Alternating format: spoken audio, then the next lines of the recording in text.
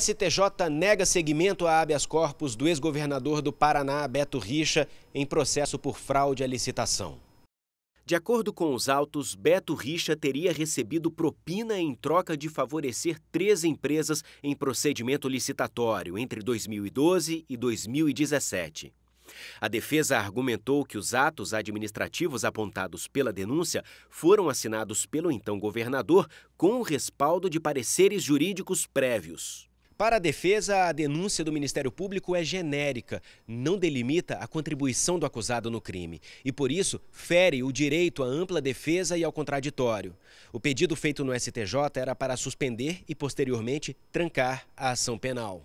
A relatora, ministra Laurita Vaz, destacou que não há no processo ilegalidade que justifique a suspensão ou o trancamento em caráter de urgência.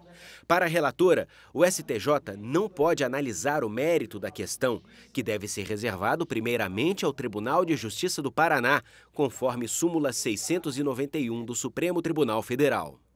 A ministra ressaltou que a defesa poderá demonstrar a veracidade dos argumentos sustentados no curso da instrução processual.